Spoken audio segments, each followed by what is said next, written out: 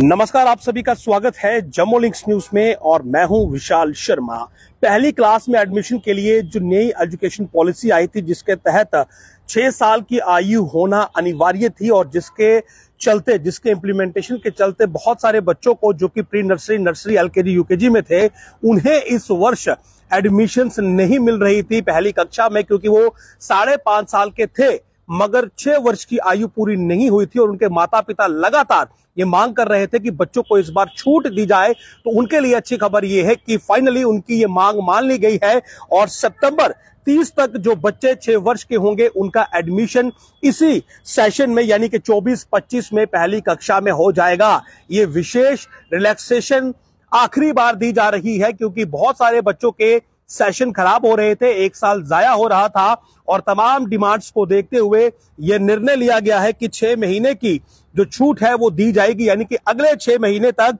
तारीख आप नोट कर लीजिए 30 सितंबर 2024 तक जो बच्चे छह वर्ष की आयु तक पहुँचेंगे, जिनके छह वर्ष कंप्लीट हो जाएँगे, उन बच्चों को इस मार्च अप्रैल में एडमिशन मिल जाएगा, यानी कि छह महीने की सीधे तौर पर वन टाइम रिलैक्सेशन जो है वो पहली कक्षा के एडमिशन में दे दी गई है। तो तमाम अभिभावकों के लिए, जिनके बच्चे प्री नर्सरी में थे नर्सरी में थे एलकेजी यूकेजी में थे, लेकिन साढ़े पाँच साल के थे या छह वर्ष पूरे होने में दो महीना या एक महीना बाकी था, और जो अब क्राइटेरिया न्यू एजुकेशन पॉलिसी 2020 के तहत सेट किया गया है, उसे फुलफिल नहीं कर रहे थे, पूरा नहीं कर पा रहे थे, और एडमिशन डिनाई हो रही थी कैंसिल हो रही थी, उनके लिए मैं ये कहूँगा कि एक बहुत बड़ी खुशखबरी है कि उनके बच्चों का अब एक वर्ष जाया नहीं होगा, और वो अब किसी भी स्कूल में जाकर एडमिशन ले सकते हैं पहली क्लास में। हालाँकि कुछ स्टेट्स ने ये अपने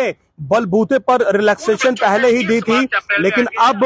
ये रिलैक्सेशन जो है यहाँ पर भी बढ़ा दी गई है यानी कि जम्मू में भी अब जो बच्चे पहली कक्षा में एडमिशन चाहते हैं 2024-25 के सेशन में और साढ़े पाँच साल के हैं या उससे ऊपर के हैं लेकिन एज पर द रूल छह वर्ष की आयु उनकी नहीं हुई है तो उनको इस सेशन में एडमिशन मिलेगा, यानी कि उनकी उनकी जो pre nursery nursery L K LKG UKG है, और अगर उसमें अब गैप आगे आ रहा था तो वो गैप की समस्या अब समाप्त हो चुकी है। उन्हें सीधे जो क्लास फ़र्स्ट है एकेडमिक सेशन 2024-25 का, उसमें एडमिशन मिल जाएगा। तो एक बड़ी समस्या जो है, वो कहीं ना कहीं अब हल हुई है, और फ़र्स्ट क्लास में अब उन्हें एडमिशन जो है मिलेगा। और यानी कि अगले छह महीने तक इन बच्चों को छह वर्ष की आयु पूरी करनी है, जो कि फिक्स डेट है 30 सितंबर 2024 तो 30 सितंबर 2024 तक जो बच्चे छह वर्ष के हो रहे हैं, यानी कि जो कैलकुलेट किया जाएगा उनकी एज को,